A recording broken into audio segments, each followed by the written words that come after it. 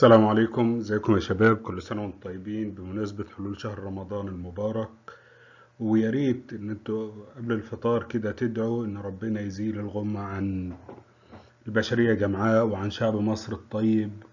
ويكفينا ويكفيكم شر فيروس كورونا ويمحي الغمة عن جميع البشرية. إن شاء الله النهاردة هندخل بقى في الفصل السادس والأخير وده النهاية بتاعة دراسة الجدوى. وده معايير الربحية التجارية والقومية للمشروع الاستثماري. بس أنا هنكتفي بمعايير الربحية التجارية. القومية اللي هي لأن ديت هنتكلم فيها وإحنا اتكلمنا فيها في البداية عن إن المشروع بيوفر إيه للدولة. من توظ- توظف نقد أجنبي وبالتالي إن ده المعايير الربحية القوية يقلل من التلوث أو يزود من الآثار الخارجية الإيجابية. وده مش مش مجالنا دلوقتي لأن ده ما فيهوش ما فيش وقت. فإحنا النهارده هنبدأ نركز على معايير الربحية التجارية. أول حاجة هناخدها معايير تقييم الربحية التجارية في ظل ظروف التأكد. يعني إن عندي الشركة بتكون متأكدة من اللي هيحصل. نمرة واحد معايير التقييم غير المخصومة. غير مخصومة يعني ما بناخدش الزمن في الاعتبار. مش هنعدل التدفقات النقدية بالزمن. يعني الجنيه اللي هيجي لي النهارده زي اللي هيجي لي بعد سنة زي اللي هيجي لي بعد خمس سنين مفيش فرق بين الاثنين وده معايير ناقصة بس إحنا بتكون سهلة وديت من ضمن المعايير اللي إحنا بناخدها في الاعتبار. أول حاجة معيار فترة الاسترداد وده عبارة عن الفترة الزمنية اللازمة لاسترداد التكاليف الاستثمارية. وقلنا التكاليف الاستثمارية عبارة عن إيه؟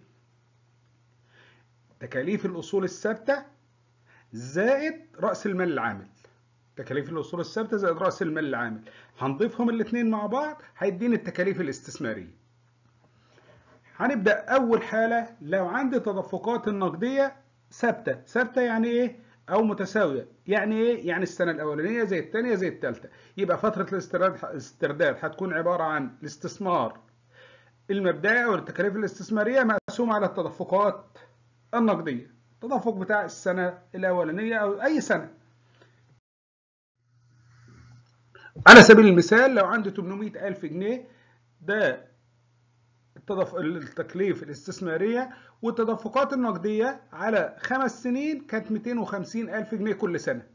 عاوز فترة الاسترداد واعطيني فترة تحكمية يعني الفترة اللي أنا هنبدأ نحكم عليها من قبول أو رفض المشروع أربع سنين. لو عندي زاد عن الفترة ديت يبقى فيها مشكلة نرفض الموضوع المشروع. لو قل عنها نقبل المشروع. يبقى أنا عندي فترة الاسترداد الاستثمار المبدئي والتكلفة الاستثمارية على التدفقات النقدية يبقى 800 على 250 3.2 من عشرة. مبدئيا يبقى ما دام أقل من الفترة التحكمية نقبل المشروع. طيب عندي 3.2 من عشرة. 3.2 من عشرة يعني؟ يعني إن أنا عندي 3 سنين وشهرين و12 يوم. لو عندي التدفقات النقدية غير متساوية يبقى أنا هنبدأ نعمل حاجة تانية. لو عندي دلوقتي التدفقات النقدية غير متساوية يبقى أنا هناخد متوسط للتدفقات النقدية ونقسم نقسم عليها الاستثمار المبدئي أو التكاليف الاستثمارية. لو عندي مشروع تكلفته 40000 والتدفقات النقدية 10 12 8 11 14 نجمعهم كلهم ونقسمهم على 5 هيدينا المتوسط بتاعهم. 55000 على الخمسة يعني 11000 جنيه.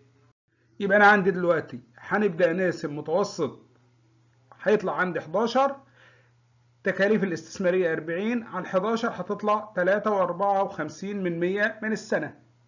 يعني 3 سنين وست شهور كذا يوم أربعة من عشرة من التلاتين يعني بنتكلم في حوالي 12 يوم. يبقى ثلاث سنين وست شهور و12 يوم. لو طريقة التدفقات النقدية الجارية. التدفقات النقدية الجارية يعني إن أنا عندي هنبدأ نقارن بين حاجتين بين بديلين ناخد مين فيهم؟ بس بناخد في الحالة ديت اللي عندنا الإيه؟ الضرايب في الاعتبار. عندي ثلاث بدايل البديل الأول والبديل الثاني والبديل الثالث. البديل الأولاني عطيني تكاليفه تكاليف استثمارية 7000 تاني 5000 الثالث 3000 وأعطيني التدفقات النقدية للبديل الأول 1500 البديل الثاني. 1200 البديل الثالث 1000 جنيه 1100 والضرايب اعطيها لي بنسبة كام؟ بنسبة 15% يبقى أنا هنبدأ نجيب كل واحد فيهم. وأعطيني طبعا لازم ناخد معدل الإهلاك. معدل الإهلاك بتاعي. يبقى العائد السنوي الخاضع للضريبة هيكون عبارة عن العائد السنوي ناقص الإهلاك. يبقى العائد السنوي اللي هو عندنا وده الإنسان موجود في الكتاب.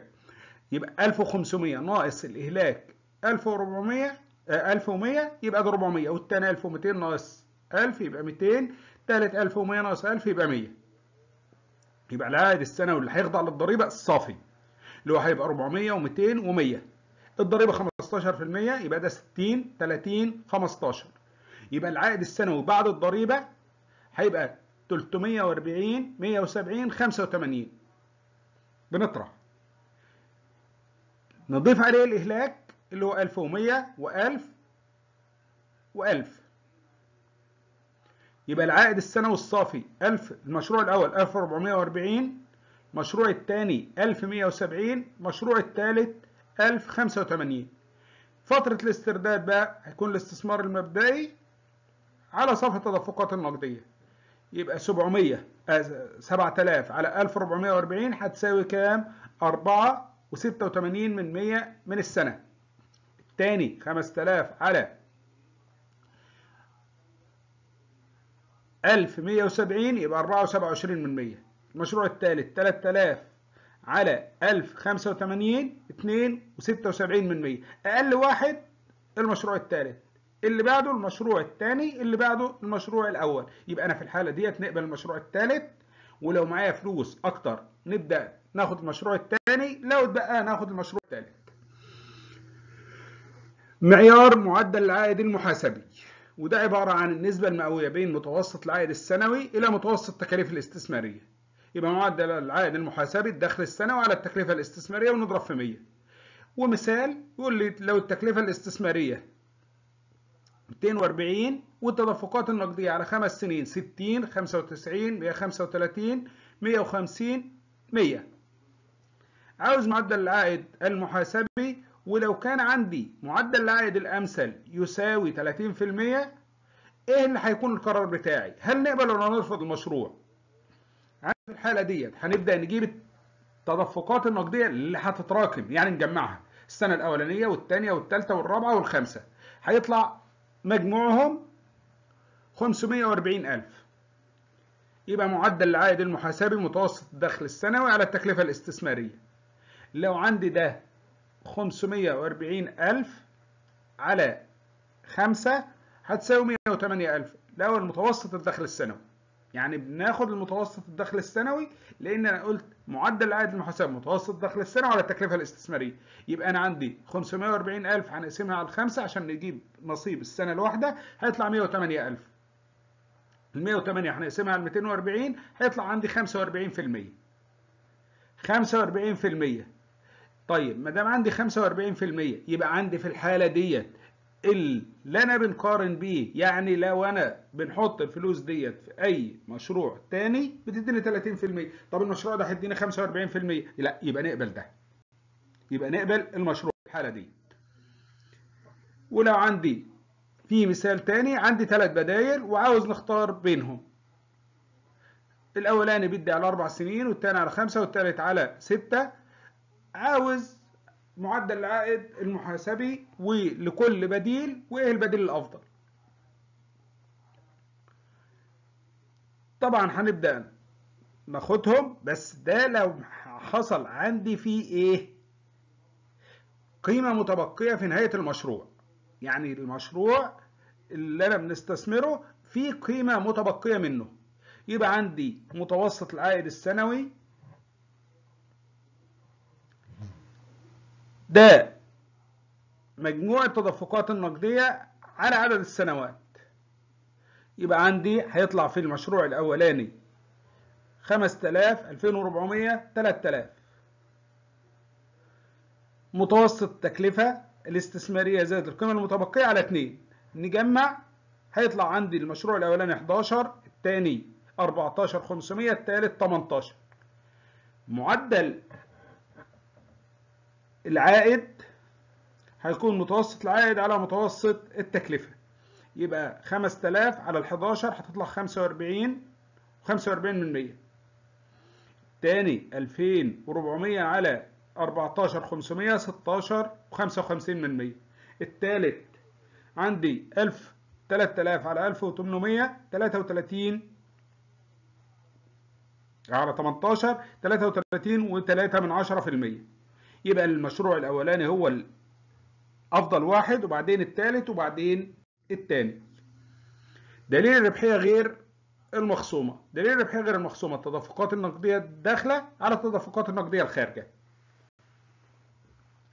البديل أعطيني مثال بديلين 28 30 40 40 ده 8 50 42 30 والتكاليف الاستثمارية للاثنين 100000 جنيه.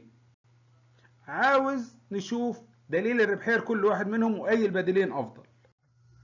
يبقى هنجيب التراكمات للأولاني والتراكمات للتاني وهنبدأ إننا نقسم تراكم على التكلفة الاستثمارية للمشروعين. طبعا عندي مدام بنقسم نسب سواء في ده أو في الأولاني بناخد بيكون عندي الاحتمال يا إما أكبر أو يساوي أو أقل من الواحد. أكبر يبقى بيحقق ربح. يساوي يبقى ده المعيار ده أقل مستوى نقبله. أقل يبقى هنرفض لأن يعتبر بنحقق خسارة. الأولاني بيحقق واحد وتمانية وتلاتين من مية التاني بيحقق واحد وتلاتة من عشرة.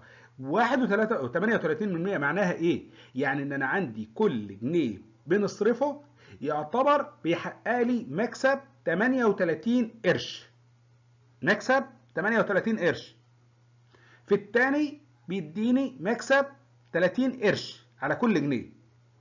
أو كل 1000 جنيه هيديني 380 جنيه. هنا هيديني 300 جنيه. طبعا يبقى المشروع الأولاني هو أو البديل الأول هو الأفضل. أو يجي في المرتبة الأولانية والبديل الثاني يجي في المرتبة الثانية. معايير التقييم المخصومة. يعني بناخد عندي الزمن في الاعتبار لأن الجنيه اللي هيجي لي النهارده غير الجنيه أفضل من الجنيه اللي هيجي لي بعد أسبوع غير أفضل من الجنيه اللي هيجي لي بعد سنة. لو أنا بناخد في الاعتبار معدلات التضخم. أول معيار هناخده صافي القيمة الحالية.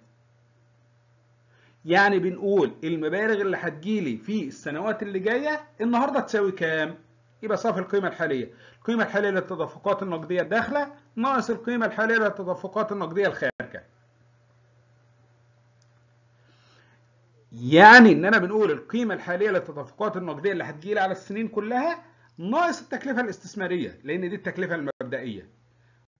وناخد مثال بسيط جدا. عندي بديلين. 28 و30 40 40 2000 8 50 42 30 7000 ومعدل الخصم 7% بيقول لي احسب صافي القيمة الحالية لكل بديل وإيه الأفضل. طبعا في السنة الأولانية هيبقى عندي صافي القيمة الحالية summation أو مجموع n لما تيجي تساوي واحد c i t اللي هي التدفقات النقدية للسنوات من السنة الأولانية لحد السنة t على واحد زائد k اللي هو معدل الخصم أس t ناقص c0 اللي هي التكلفة الاستثمارية. يبقى عندي في السنة الأولانية شوف المبلغ كام؟ على واحد وسبعة من مية. زائد السنة الثانية على واحد وسبعة من مية تربيع. السنة الثالثة والسنة الرابعة والسنة الخامسة. مجموعهم كلهم نطرح منه الاستثمار المبدئي اللي هو المئة ألف أو العشر تلاف أو أيا كان. هيطلع عندي ستة تسعمية أربعة وخمسين. بالنسبة للمشروع الثاني بنفس الطريقة هيطلع عندي خمسة ربعمية اتنين وستين. يبقى المشروع الأولاني هو الأفضل. المشروع الأولاني هو الإيه؟ هو الأفضل. معيار دليل الربحية. وهو نسبة القيمة الحالية للتدفقات النقدية الداخلة على التدفقات النقدية الخارجة. وعطيني مشروعين وعطيني معدل الخصم 14% التدفقات النقدية في الخمس سنين الأولاني طلع عندي 50 615 الثاني طلع 133 680 يبقى هنقسم ده على الاستثمار المبدئي بتاعه لأن الاستثمار المبدئي بتاع كل واحد فيهم مختلف عن التاني. يبقى 50 615 على المية هتطلع 50% تقريبا أو 50 وستة من عشرة في المية. التاني 133 680 على 130 هتطلع واحد واتنين من مية يبقى البديل التاني هو الأفضل. معدل العائد الداخلي اللي هو ال IRR وده معدل الخصم اللي هيساوي اللي يجعل القيمة الحالية للتدفقات النقدية الداخلة مساوية القيمة الحالية للتدفقات النقدية الخارجة أو الاستثمار المبدئي أو التكاليف الاستثمارية. وده أهم حاجة لأنه بيعتمد على طريقة التجربة والخطأ. ما ينفعش إن أنا نقول معدل خصم كذا. لا ده بتعتمد على التجربة والخطأ. وأعطيني لو في عندي تكاليف مثال وإن شاء الله المحاضرة اللي جاية حتى لو هتبقى المحاضرة اللي جاية آخرها الأربع هنزل لكم محاضرة الأربع كمثال على معايير الربحية التجارية لأن ده هيبقى مثال وتمرين مهم جدا. عندي مشروع استثماري التكاليف بتاعته 100000 جنيه ومعدل التكلفة الأموال يعني لو أنا بناخد قرض ب 14% والتدفقات النقدية اللي جاية لي السنة الأولانية 20 40 30 40 20 وعاوز معدل العائد الداخلي اي آر. يبقى هنحسب صافي القيمة الحالية عند كذا معدل. هنا أعملها عند 10 بناخد واحد أقل وواحد أعلى. واحد أقل وواحد أعلى من اللي هو عطيهولي ال 14 طيب لو لقيته مش مش فيهم ناخد واحد كمان أعلى. وعندنا طلع صافي القيمة الحالية في الأولاني. 3490 ده بعيد قوي. التاني طلع 200 صغير قوي. التالت اللي عند العشرين. 10 890 طيب يبقى أنا عشان نبدأ عندي يبقى أنا هنستبعد ال10 هنشتغل عند ال 15% وال 20% يبقى معدل العائد الداخلي هيساوي الحد الأدنى لمعدل الخصم اللي هو عند ال 15 زائد الفروق بين معدلات الخصم اللي أنا مختارها وأنا هنا عملتهم عند 15 و20 يبقى 5% مضروبة في صافي القيمة الحالية عند معدل الخصم المنخفض على مجموع صافي القيمة الحالية للاثنين يبقى 15 زائد 5 مضروبة في 200 على 200 زائد 10 890 هيطلع 15 و9 من 100 يبقى معدل العائد الداخلي أعلى من تكلفة الأموال يبقى عندي ده نقبل المشروع. وده معدل الخصم أو معدل العائد الداخلي اللي يخلي عندي المشروع يسترد أمواله في خلال الخمس سنوات.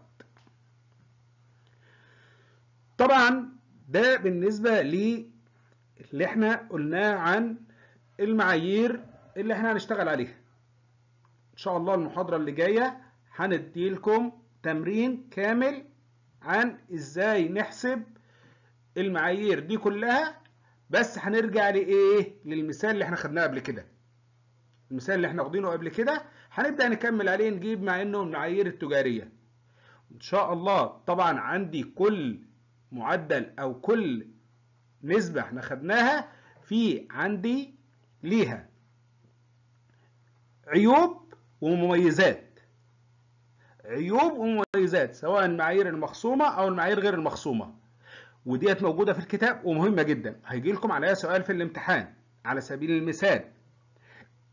اذكر عيوب ومميزات معدل العائد الداخلي.